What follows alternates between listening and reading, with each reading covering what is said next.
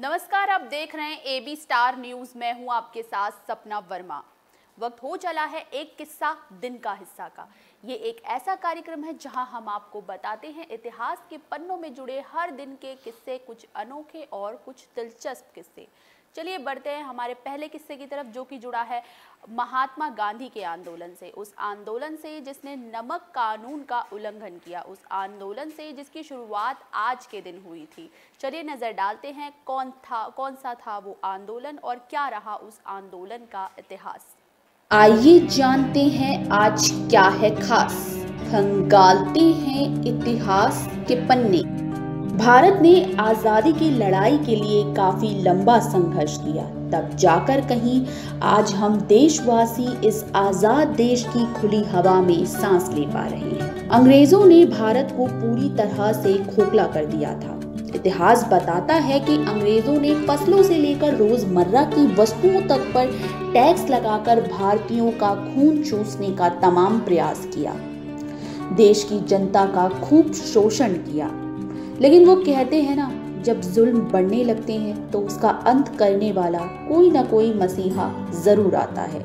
ढाल बनकर, वो आवाज़ उठाता है अत्याचार, अन्याय के खिलाफ, ताकि लोगों को इससे मुक्त किया जा सके।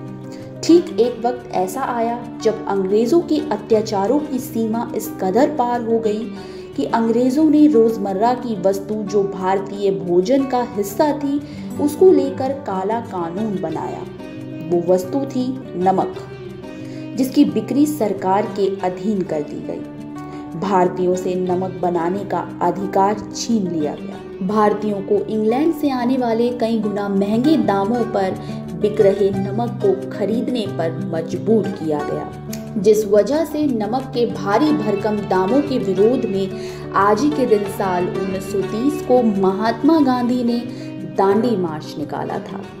इस दांडी मार्च का मकसद नमक कानून को तोड़ना था। इसमें महात्मा गांधी सहित सत्याग्रह में शामिल हुए कई लोगों ने दांडी मार्च को बढ़ावा दिया और इसमें शामिल हुए। ये दांडी मार्च साबरमती आश्रम से शुरू होकर करीब 390 किलोमीटर का पैदल सफ़र तय कर दांडी पहुंचकर समुद्र तट के पास खत्म हुआ।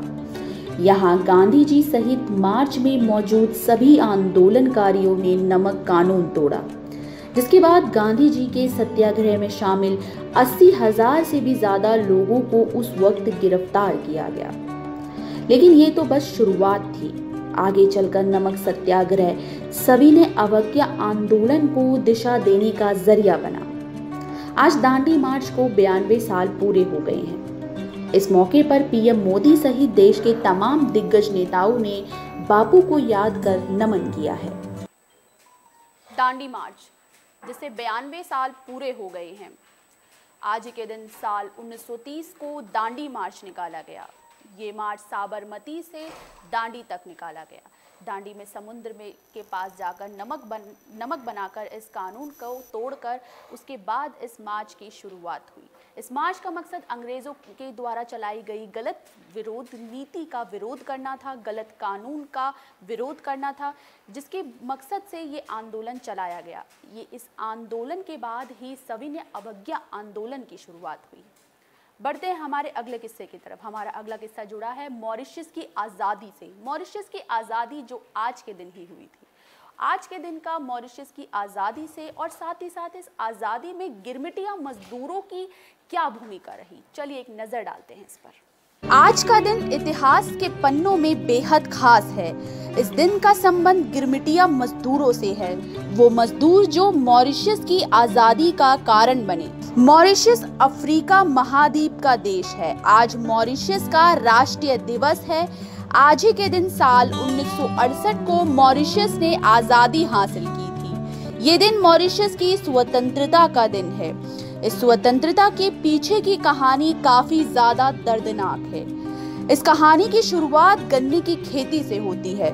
गन्ना जो कि मॉरिशस की अर्थव्यवस्था की बैकबोन था। साल 1934 में जब यहाँ से दास प्रथा पर रोक लगी तो खेती के लिए मजदूर मिलना काफ़ी मुश्किल हो गया था, जिसके बाद कम पैसों में भारत से मजदूरों को लाया गया।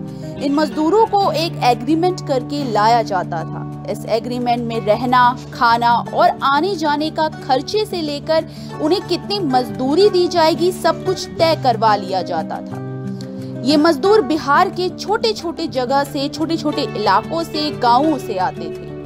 ये मजदूर अच्छे भविष्य की तलाश और सपने लेकर आते थे। लेकिन यहाँ पहुँचने के बाद होता था बिल्कुल इसका विपरीत। उनके साथ जुल्म हुए, उनके साथ जानवरों से भी ज़्यादा बदतर सुलूक हुआ। छोटी छोटी गलतियों पर उन्हें जेल डाल दिया जाता था। उनके बच्चों की कम उम्र में शादी करवाने के लिए उन्हें मजबूर किया जाता था। बाद में इन जुल्मों से तंग आकर वहाँ गिरमिटिया मजदूरों ने एकजुट होकर धीरे धीरे सत्ता में बदलाव की शुरुआत की। और एक वक्त ऐसा आया जब सत्ता इनके हाथों में आ गई, जिसके बाद महात्मा गांधी के दांडी मार्च से प्रेरित होकर आज़ादी का दिन 12 मार्च यानी कि आज का दिन चुना गया। मॉरिशस में आज भी भारतीय संस्कृति की झलक देखने को मिलती है। आज़ादी की वो कहानी जिसने गिरमिटिया मजदूरों को सत्ता के शिखर तक पहुँचा दिया। साल 1968 का वो दौर जब मॉरिशस को आज़ादी हासिल हुई।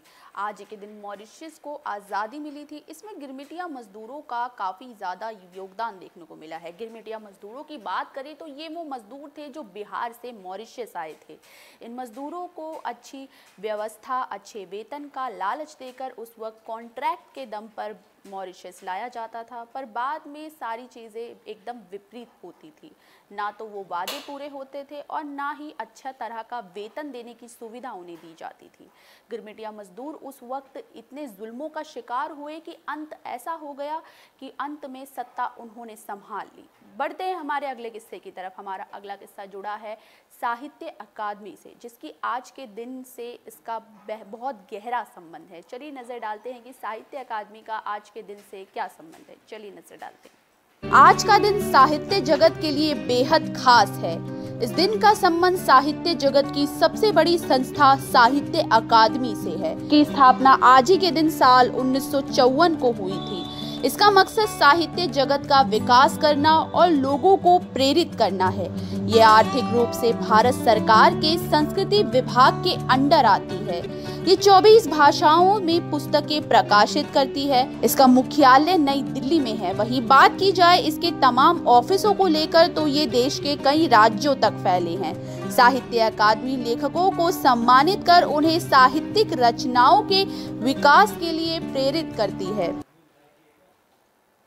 साल उन्नीस सौ चौवन का वो दौर जब भारत सरकार की ओर से साहित्य अकादमी की स्थापना की गई थी। आज इसका स्थापना दिवस है। इसकी स्थापना का मकसद था साहित्यों का विकास करना और लेखकों को सम्मानित करना। वक्त हो चला है अब आपसे विदा लेने का। हम फिर मिलेंगे किसी नए किस्से के साथ। तब तक के लिए देखते रहिए, एक किस्सा, दिन का हिस्सा। शुक्रिया।